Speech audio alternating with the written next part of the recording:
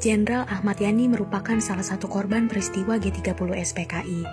Tragedi itu menyisakan luka yang begitu dalam bagi sang istri, Yayu Rulia Sutowiryo.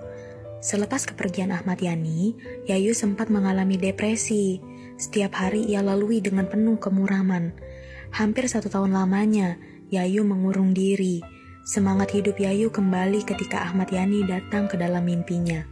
Di dalam mimpi itu, sang jenderal meyakini sang istri untuk tetap kuat menjalani hidup. Sejak saat itu, Yayu mencoba untuk kembali menata kehidupannya. Yayu mulai menjalani peran ganda sebagai ibu dan ayah untuk anak-anaknya. Untuk mencari nafkah, Yayu mencoba untuk berdagang. Meski sempat gagal, Yayu tak pernah menyerah.